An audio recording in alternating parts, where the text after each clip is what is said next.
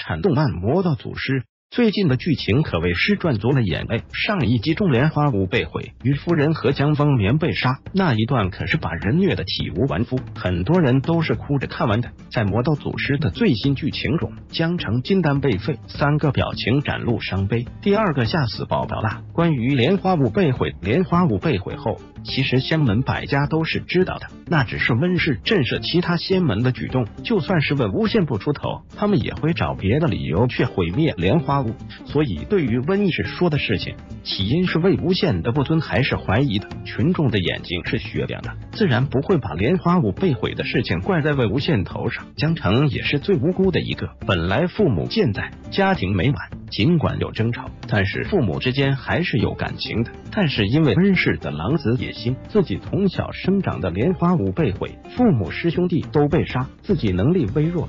却不能替他们报仇，但是最终他下了决心，一定要杀了温狗，替云梦江氏的子弟们雪恨。但是却被废金丹。表情一，金丹被废，在江城苏醒之后，他两眼无神，似乎被掏空了灵魂。之后看到了魏无羡，他知道自己金丹被废，但是还想确定一下，打了魏无羡一掌。魏无羡确定什么灵力已经都感觉不到了。这时的他可以说是没有任何生的意念，只觉得自己是个废人了。希望魏无羡能够替江家报仇雪恨吧。表情二，得知魏无羡接受温家帮助，江城正在颓废之际，看到进来的温氏温宁，瞬间想要杀了对方。魏无羡拦住，说是他救了他们。这时候的江城估计是绝望的，魏无羡竟然接受了灭门江氏的温家人的帮助，那还指望他什么？江城这时候的表情太吓人了，那属于一种心理崩溃。到无法言语的狰狞之感，既让人心疼又让人害怕。表情三，见到父母的遗物，在温宁的帮助下带回了于夫人和江丰棉的遗物。这个时候的江城瞬间泪如雨下，他听到了魏无羡能够找到抱山散人恢复他的金丹，知道了自己还有机会